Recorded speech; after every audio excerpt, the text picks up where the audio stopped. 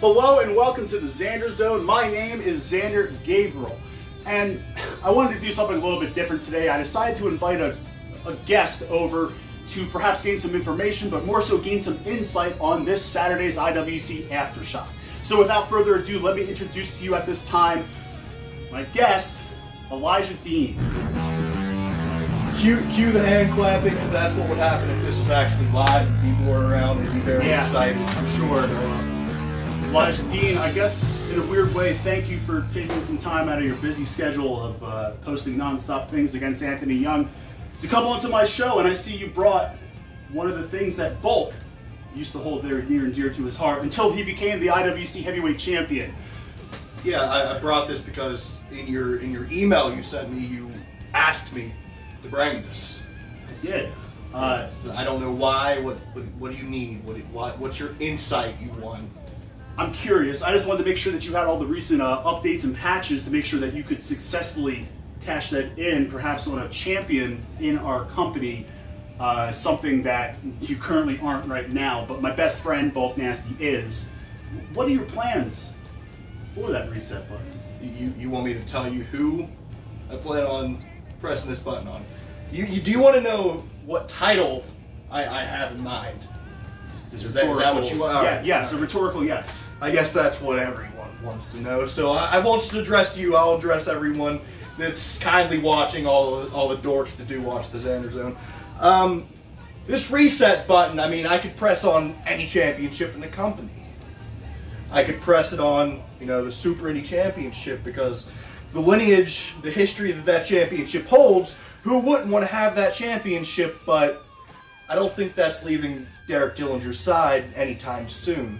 Especially someone like Jack Pollock trying to get it. It's just not going to happen. So that's just out of the out of the equation. And then we got, I mean, the, the tag team championships that I hold near and dear to my heart. But they're missing in action. Because, of course, the Hardy Boys have them, and apparently you don't have to fill obligations, so you can just run away with them. Didn't know you could do that, or I'd still have those. So it seems like those, for the moment, are out of the equation. And there's one more. Actually, there's a couple more. I won't give it away, but regardless of who and what championship I plan on pressing this button on, I'm not exactly doing it for myself. Do you know that? Who? Why? Why else would you press it? I'm doing it for you, the IWC faithful. Because you need a champion that actually gives a damn about this company. You need a champion that will put in the effort. I mean, I'm not just going to disrespect the IWC roster because it's one of the most talented rosters in the country.